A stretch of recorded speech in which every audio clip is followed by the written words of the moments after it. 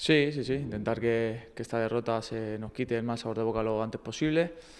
Y nada, eh, esperar este fin de semana nuestra gente en casa, vamos a intentar darle las alegrías que quedan de aquí a final de temporada y que vengan y disfruten del juego y, de una victoria. Nosotros no nos vamos a dejar ir, nosotros no debemos al Club Deportivo Tenerife y lo vamos a dar todo hasta el final. Y lo que te digo, intentando que, que disfrutemos lo máximo posible nosotros y, la gente que venga que se vaya con un buen sabor de boca. Decía que iba a estar desahuciado hace tiempo y, lo tiene en su mano el poder salvarse, así que no va a ser nada fácil. Así que nos esperamos a, un rival duro que, se está jugando la salvación, que, es mucho para ellos y bueno, intentaremos que no tengan su mejor día y que, que los puntos se queden en casa.